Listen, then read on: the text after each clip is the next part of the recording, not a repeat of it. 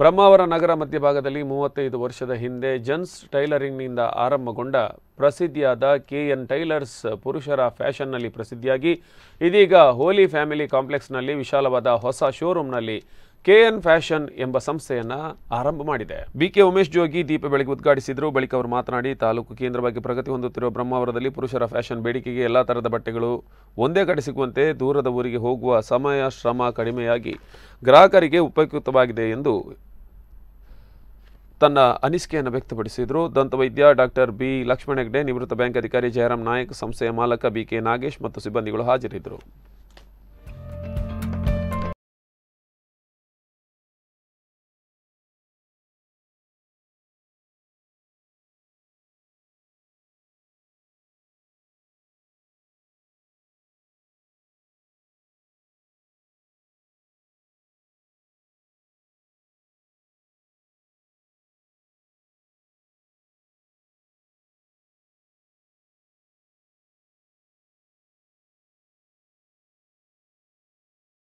ಗ್ರಾಹಕರನ್ನು ಸ್ವಾಗತಿಸುತ್ತಾ ಈ ಒಂದು ಕೆ ಎನ್ ಟೈಲರ್ ಅಂತ ಸಾವಿರದ ಸಾವಿರದ ಒಂಬೈನೂರ ಎಂಬತ್ತೈದರಿಂದ ಚಿಕ್ಕ ಮಟ್ಟದಲ್ಲಿ ಪ್ರಾಬ, ಪ್ರಾರಂಭವಾಗಿ ಈ ಬ್ರಹ್ಮಾವರದ ಆಸುವಾಸಿಗೆ ಬೃಹತ್ತಾಗಿ ಬೆಳೆದು ಬಂದಿದೆ.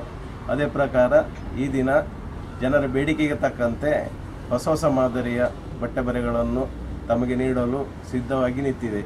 ತಮ್ಮೆಲ್ಲರ ಸಹಕಾರವನ್ನು ಬಯಸುತ್ತಾ ಈಗ ಕೆ ಎನ್ ಪ್ಯಾಷನ್ ಅಂತ ಹೊಸ ನವೀಕರಣದೊಂದಿಗೆ ಶುಭ ಶುಭಾರಂಭಗೊಂಡಿದೆ